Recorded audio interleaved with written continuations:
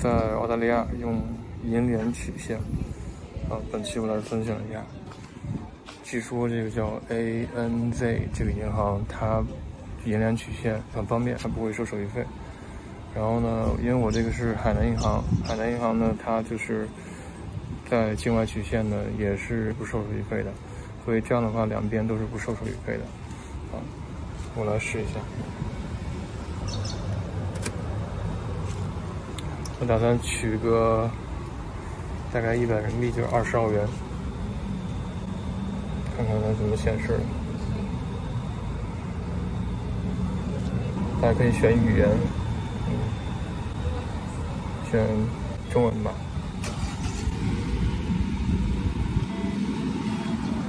输入密码，提款提二十。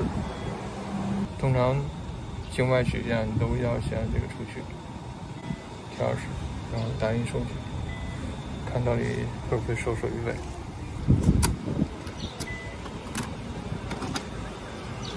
取了二十澳元，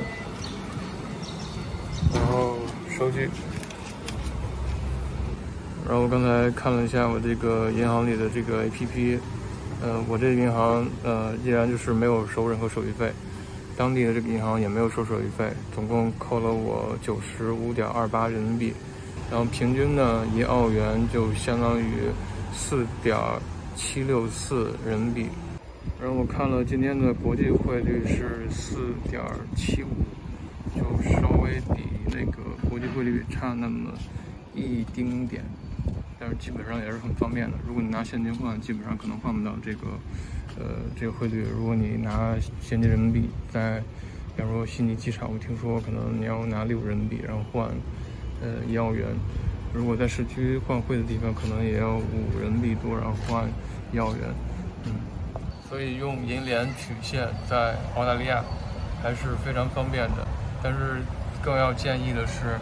你如果是有出境游的这些计划的话，尽量是办一个那种除了五大行之外那种比较小的银行。就比方说我办了这个海南银行，这个还有很多银行其实都是可以境外取现，它的这个银行是免手续费的。通常你记住了，都会收可能两个手续费，一个是中国这边银行的手续费，一个是当地银行的手续费。但是有一些境外的这个银行呢，它当地是不收手续费的。